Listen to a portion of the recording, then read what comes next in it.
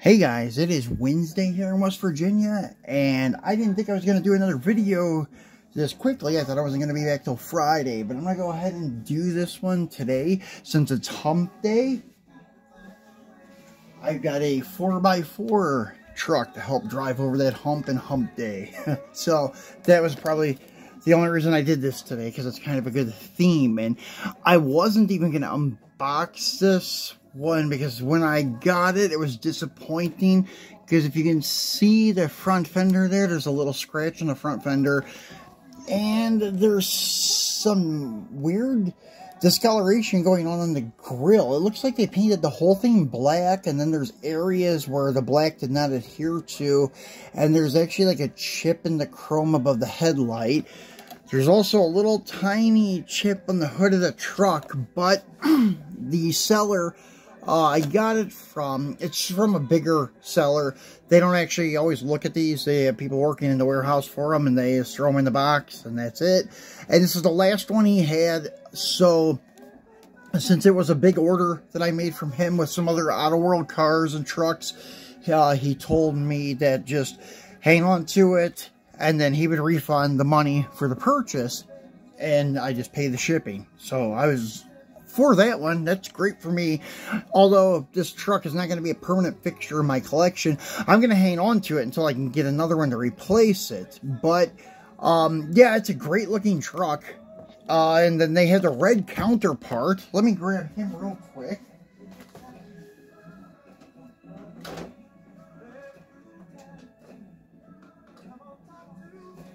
And this is the first one to come out. And pretty cool looking truck in red. I really like it in red.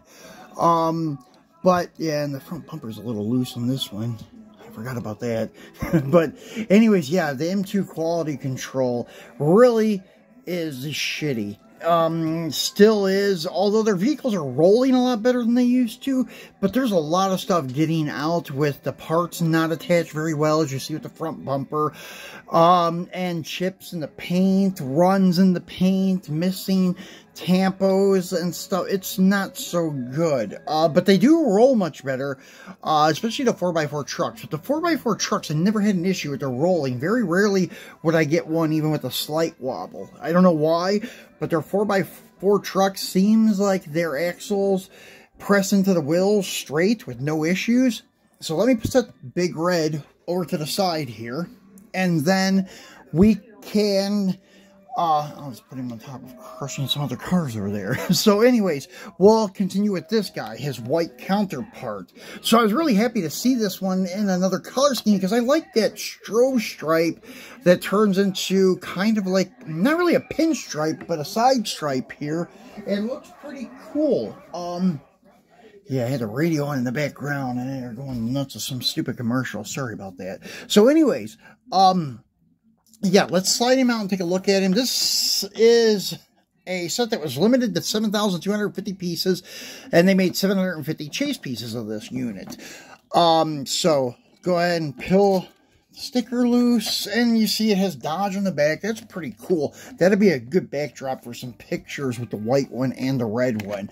Um, even though there's some flaws on this white one, I can still flip it to the passenger side, maybe. We'll see here in a minute. And then uh, maybe get some good picks. Yeah, the passenger side seems to be okay with no flaws in the paint. Um, so, yeah, this is one, even though I'm a diehard Mopar guy and I'm a fanatic about these new Dodge, well, not really new anymore, they're a year old, um, Dodge trucks from M2, the 72 to 80 models, or 72 to 79. I don't think they've made an 80 yet.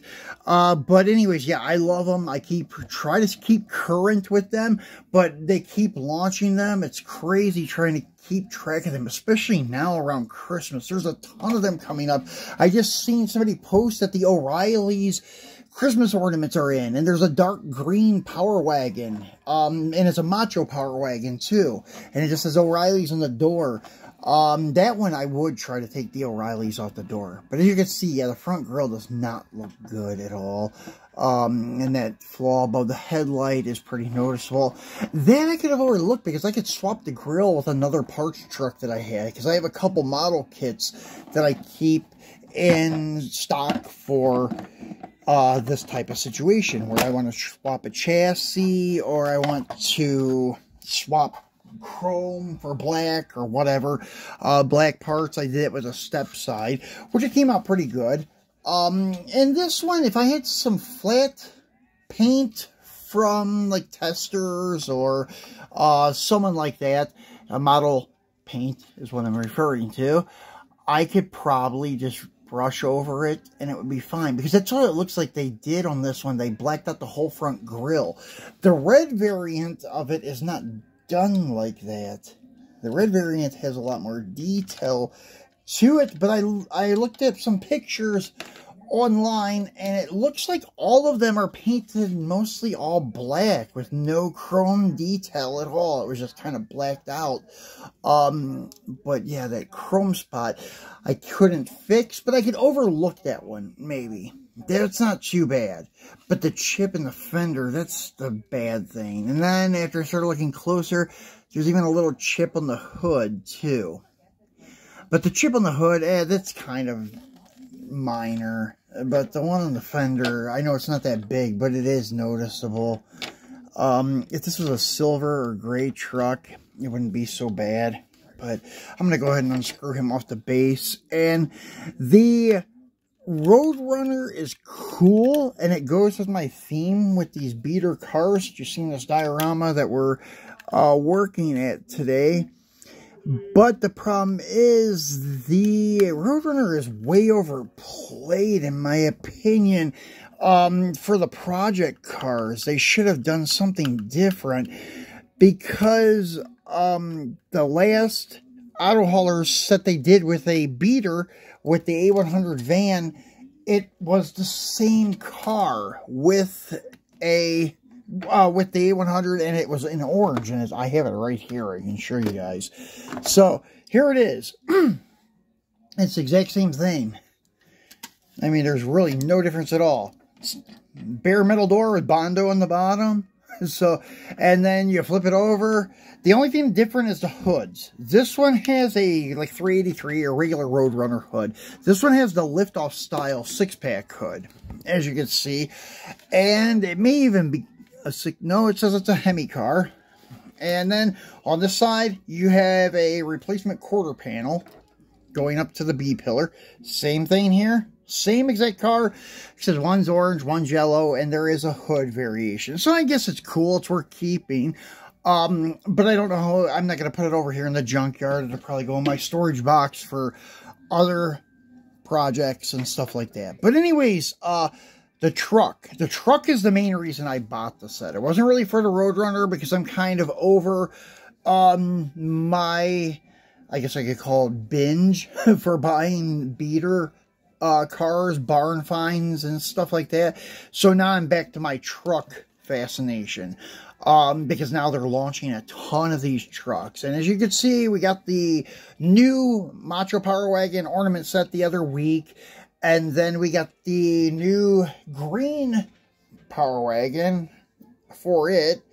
And now we got this pick 'em up truck, and I'm really disappointed that it was a little messed up. But as I said, I can put it on this side and then have the red one facing off with it with that backdrop of the pick 'em up truck or Dodge, and it will be perfect.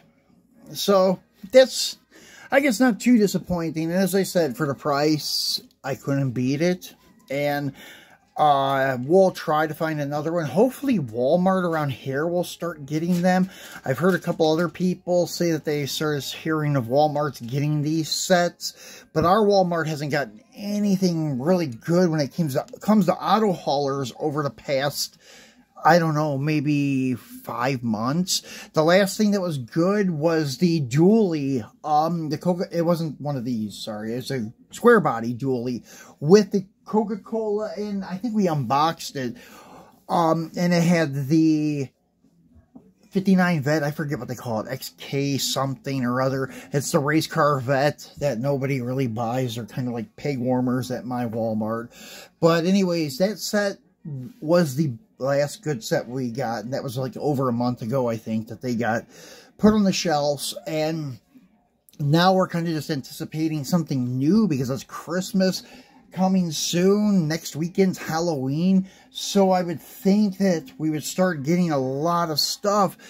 Um, but it hasn't really happened. We've been getting some here and there, but nothing like overwhelming. So, uh, hoping that we do get these sets in so I can just buy one for SRP at Walmart. If not, I'll have to try to get another one off eBay. It's a lot nicer when you can buy them in person and look at them. Because this guy, probably I would have left at Walmart. I probably would not have bought it. Um, Although I may have because I didn't have that one.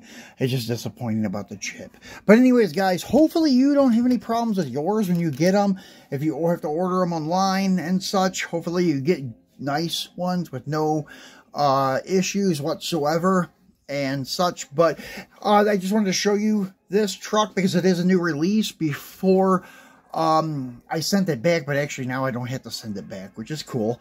Uh, now, anyways, we'll be back again on Friday to crack open something else and not sure what it is yet, but be sure to tune back in because we will have something for you in store. So, uh, enjoy the rest of your week. It is hump day, only two days to go to the weekend, guys. So, try to get through it and I will talk to you on Friday.